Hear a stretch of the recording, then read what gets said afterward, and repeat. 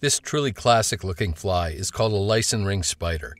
I've deviated significantly from the original pattern in terms of the tying sequence and techniques, but I think the end result is fairly close to what Mr. Leisenring intended.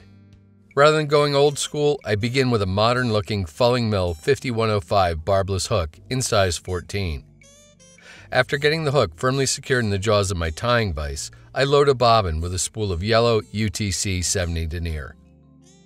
Get your thread started on the hook shank, leaving a little space behind the eye, and take a few wraps rearward before snipping off the tag. Small sized gold ultra wire is used to rib and segment the fly. A 6 inch length will make numerous flies. Place one end of the wire on top of the hook shank and begin securing it with wraps of tying thread. Keep taking wraps rearward all the way to the start of the hook bend, then forward to about one third of the way down the shank from the eye. End with your thread at about the hook point. Natural light hare's mask dubbing is used to create the body of the fly. Pluck an ample clump free from the package. Pull down on your bobbin to expose about 3 inches of tying thread.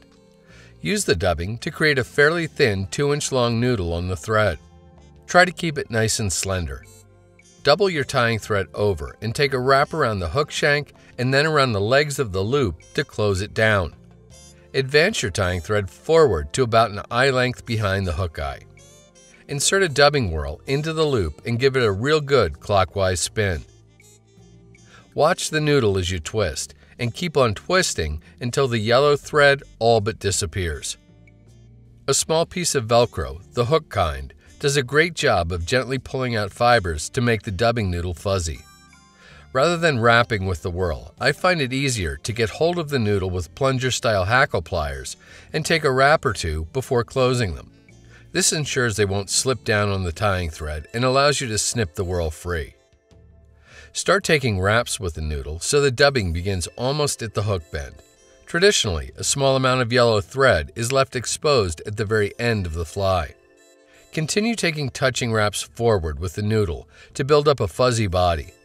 When you reach your tying thread, use it to anchor the noodle, then snip the excess off close.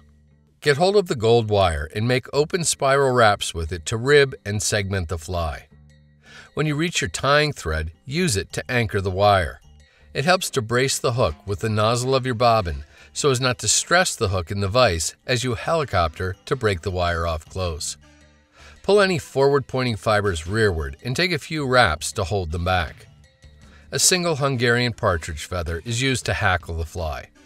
A feather that's light brown at its tip is traditionally used for this pattern. When you find one with fibers about a full hook in length and with good coloration, pluck it free from the skin. Strip off the lower fuzzy fibers and any more that look to be too long.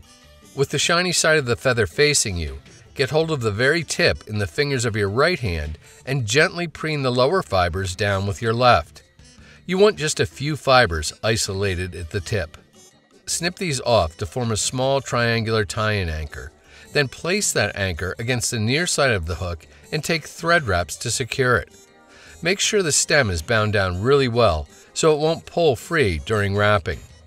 Get hold of the butt end of the stem with hackle pliers and gently fold the fibers rearward. Start taking wraps to form a sparse hackle collar on the fly.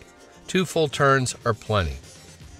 When you reach bare stem, take wraps of tying thread to firmly anchor it to the hook shank then snip the excess off close. Preen all the fibers rearward and take thread wraps to clean up the head of the fly. If you have anything sticking out over the eye, take wraps on top of the eye, then pull back to clear them. Take a few more wraps to hold everything back and out of the way. With your thread at the back edge of the head, reach for your whip finish tool and use it to perform a 3 or 4 turn whip finish going forward toward the hook eye. You can then seat the knot well and snip or cut your tying thread free.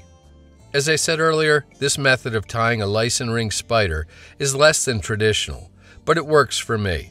When it becomes wet, the yellow underbody will start to show through the dubbing to give the fly a very realistic look.